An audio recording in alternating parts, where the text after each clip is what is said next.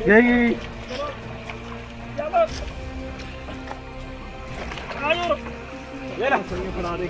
ਉਸ ਵੇਲੇ ਭਾਣਾ ਵਾਪਰ ਗਿਆ ਜਦੋਂ ਉਹ ਆਪਣੀ ਗੱਡੀ ਸਮੇਤ ਨਦੀ ਦੇ ਵਿੱਚ ਰੁੜ ਗਿਆ ਤੇ ਕਾਫੀ ਦੂਰ ਜਾ ਕੇ ਉਸ ਦੀ ਗੱਡੀ ਦੇ ਵਿੱਚੋਂ ਹੀ ਲਾਸ਼ ਬਰਾਮਦ ਹੋਈ।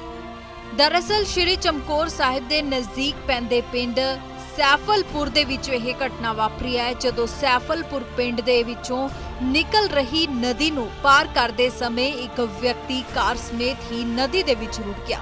ਸ਼ਖਸ ਦਾ ਨਾਮ ਸਰੂਪ ਸਿੰਘ ਹੈ, ਜੋ ਪਾਣੀ ਦਾ ਬਹਾਵ ਜ਼ਿਆਦਾ ਹੋਣ ਕਾਰਨ ਨਦੀ ਦੇ ਵਿੱਚ ਰੁੜ ਗਿਆ ਇਸ ਬਾਬਤ ਪੁਲਿਸ ਨੂੰ ਜਾਣਕਾਰੀ ਕਰੀਬ ਰਾਤ 10:30 ਵਜੇ ਮਿਲੀ, ਜਿਸ ਤੋਂ ਬਾਅਦ ਪੁਲਿਸ ਵੱਲੋਂ ਮੌਕੇ ਤੇ ਪਹੁੰਚ ਕੇ ਉਸ ਵਿਅਕਤੀ ਦੀ ਭਾਲ ਸ਼ੁਰੂ ਕੀਤੀ ਗਈ। ਜ਼ਿਕਰਯੋਗ ਹੈ ਕਿ ਵਿਅਕਤੀ ਵੱਲੋਂ ਨਦੀ ਦੇ ਵਿੱਚੋਂ ਗੱਡੀ ਕੱਢੀ ਜਾ ਰਹੀ ਸੀ, ਲੇਕਿਨ ਉਸ ਨੂੰ ਇਸ ਗੱਲ ਦਾ ਅੰਦਾਜ਼ਾ ਨਹੀਂ ਸੀ ਕਿ ਪਾਣੀ ਦੀ ਆਮਦ ਜ਼ਿਆਦਾ ਹੋ ਚੁੱਕੀ ਹੈ।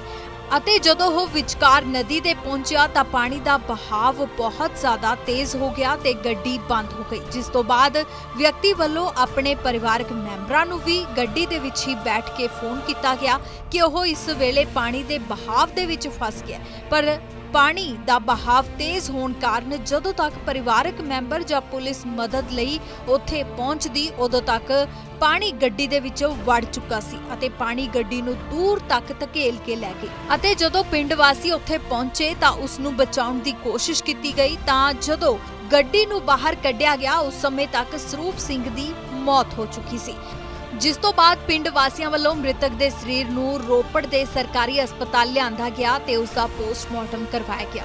ਇਸ ਮੌਕੇ ਪਰਿਵਾਰਕ ਮੈਂਬਰਾਂ ਨੇ ਦੱਸਿਆ ਕਿ ਸਰੂਪ ਸਿੰਘ ਪਿੰਡ ਲਖੀਮਪੁਰ ਦਾ ਨਿਵਾਸੀ ਹੈ ਅਤੇ ਉਹ ਸੈਫਲਪੁਰ ਪਿੰਡ ਵੱਲ ਆਪਣੇ ਕਿਸੇ ਕੰਮ ਪਰਿਵਾਰਕ ਮੈਂਬਰਾਂ ਕੋਲ ਗਿਆ ਹੋਇਆ ਸੀ। ਪਰ ਪਿੰਡ ਨੂੰ ਵਾਪਸੀ ਵੇਲੇ ਇਹ ਹਾਦਸਾ ਹੋ ਗਿਆ। ਦੂਜੇ ਪਾਸੇ ਪਿੰਡ ਵਾਸੀਆਂ ਦਾ ਕਹਿਣਾ ਹੈ ਕਿ ਜਿਹੜਾ ਪਿੰਡ ਸੈਫਲਪੁਰ ਹੈ, ਉਹ ਦੋ ਨਦੀਆਂ ਦੇ ਵਿਚਕਾਰ ਮੌਜੂਦ ਹੈ ਤੇ ਤਰਾਸਦੀ ਇਹ ਹੈ ਕਿ ਦੋਨੋਂ ਨਦੀਆਂ ਉੱਤੇ ਕੋਈ ਵੀ ਪੁਲ ਨਹੀਂ ਬਣਿਆ ਹੋਇਆ ਅਤੇ ਜੇਕਰ ਕੋਈ ਅਣਜਾਣ ਵਿਅਕਤੀ ਪਿੰਡ ਦੇ ਵਿੱਚ ਆਉਂਦਾ ਹੈ ਅਤੇ ਉੱਪਰੋਂ ਬਰਸਾਤ ਹੋ ਰਹੀ ਹੋਵੇ ਤਾਂ ਬਰਸਾਤੀ ਨਦੀਆਂ ਉਫਾਨ ਤੇ ਹੋਣ ਕਾਰਨ ਅਜਿਹੀਆਂ ਘਟਨਾਵਾਂ ਵਾਪਰ ਜਾਂਦੀਆਂ ਨੇ, ਜਿਸ ਕਾਰਨ ਲੋਕਾਂ ਨੇ ਹੁਣ ਪ੍ਰਸ਼ਾਸਨ ਤੋਂ ਮੰਗ ਕੀਤੀ ਹੈ ਕਿ ਪ੍ਰਸ਼ਾਸਨ ਜਲਦੀ ਤੋਂ ਜਲਦੀ ਪੁਖਤਾ ਪ੍ਰਬੰਧ ਕਰੇ ਤਾਂ ਜੋ ਅਜਿਹੀਆਂ ਘਟਨਾਵਾਂ ਆਉਣ ਵਾਲੇ ਸਮੇਂ ਦੇ ਵਿੱਚ ਨਾ ਹੋ ਸਕਣ। ਪ੍ਰਸ਼ਾਸਨ ਨੂੰ ਵੀ ਦੇਖੋ ਜੀ, ਸਾਡਾ ਜਿਹੜਾ ਪਿੰਡ ਸੈਂਫਲਪੁਰ ਹੈ, ਇਹ ਦੋ ਨਦੀਆਂ ਦੇ ਵਿਚਾਲੇ ਹੈ ਜੀ।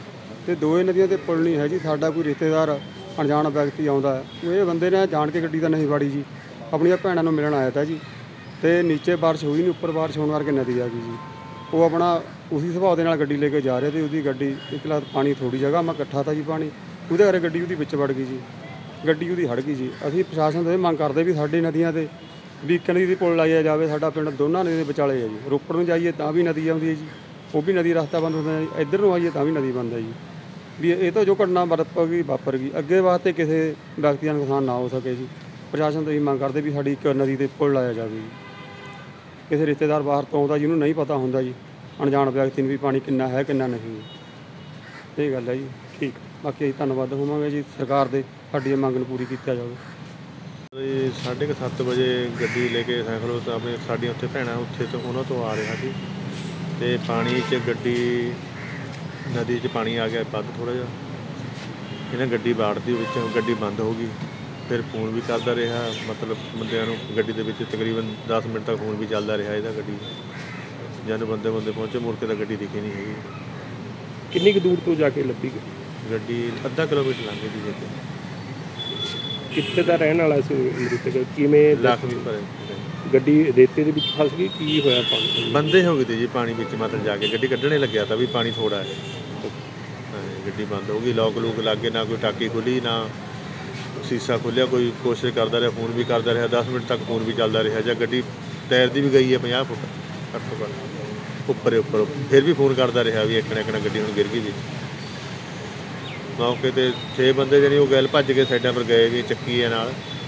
ਪਰ ਕੋਈ ਫਿਰ ਮੁੜ ਕੇ ਗੱਡੀ ਕਹਾਂ ਤਾਂ ਡੁੱਬੇ ਗਈ।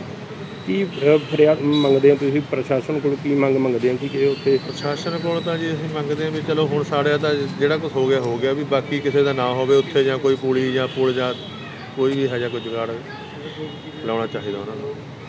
ਵੀ ਕਿਸੇ ਹੋਰ ਦਾ ਨੁਕਸਾਨ ਨਾ ਹੋਵੇ। ਠੀਕ। ਕਰੀਬ ਪੌਣੇ 10 ਵਜੇ ਭਾਜੀ ਸਾਨੂੰ ਇਨਫੋਰਮੇਸ਼ਨ ਮਿਲੀ ਸੀ 112 ਹੈਲਪਲਾਈਨ ਤੋਂ ਕਿ ਨਦੀ ਆਪਣੇ ਸੈਫਲਪੁਰ ਪਿੰਡ ਲਾਗੇ ਇੱਕ ਸਰੂਪ ਸਿੰਘ ਬੰਦਾ ਸਮੇਤ ਕਾਰ ਰੁੜ ਗਿਆ ਤੇ ਮੌਕੇ ਤੇ ਪੁੱਜੇ ਉੱਥੇ ਕਾਫੀ ਲੋਕ ਇਕੱਠੇ ਹੋਏ ਸੀਗੇ, ਸਿਵਲ ਪ੍ਰਸ਼ਾਸਨ ਐਸਡੀਐਮ ਸਾਹਿਬ, ਐਕਸ਼ਨ ਮੈਨਿੰਗ, ਉਹਨਾਂ ਦਾ ਸਟਾਫ ਆਏ ਹੋਏ ਸੀਗੇ, ਫਿਰ ਗੋਤਾਖੋਰ ਮੰਗਾਏ। ਕਰੀਬ ਉੱਥੋਂ ਇੱਕ ਡੇ- ਕਿਲੋ ਡੇਢ ਕਿਲੋਮੀਟਰ ਥੱਲੇ ਜਾ ਕੇ ਗੱਡੀ ਫਸੀ ਹੋਈ ਸੀ ਤੇ ਜਿਹੜਾ ਸਰੂਪ ਸਿੰਘ ਸੀਗਾ ਇਹ ਮ੍ਰਿਤਕ ਪਾਇਆ ਗਿਆ। ਇਹ ਕਿਹੜੇ ਪਿੰਡ ਤੋਂ ਰਿਲੇਟਡ ਹੈ ਸੈ- ਇਹ ਲਖਮੀਪੁਰ।